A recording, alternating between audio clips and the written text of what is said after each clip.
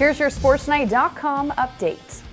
Sports are slowly starting to come back, and Texas is welcoming them with open arms. Governor Greg Abbott announced that professional sports in Texas can return on May 31st. However, no fans in the stands or in game spectators would be allowed. Abbott also said that youth sports and overnight camps can resume on the same date. In his press conference, the governor said professional sports, including basketball, baseball, car racing, football, golf, softball, and tennis leagues can apply to the state health department for approval to hold events in the Lone Star State. Stay with us on Sports2Nite.com for all the latest surrounding the sports world.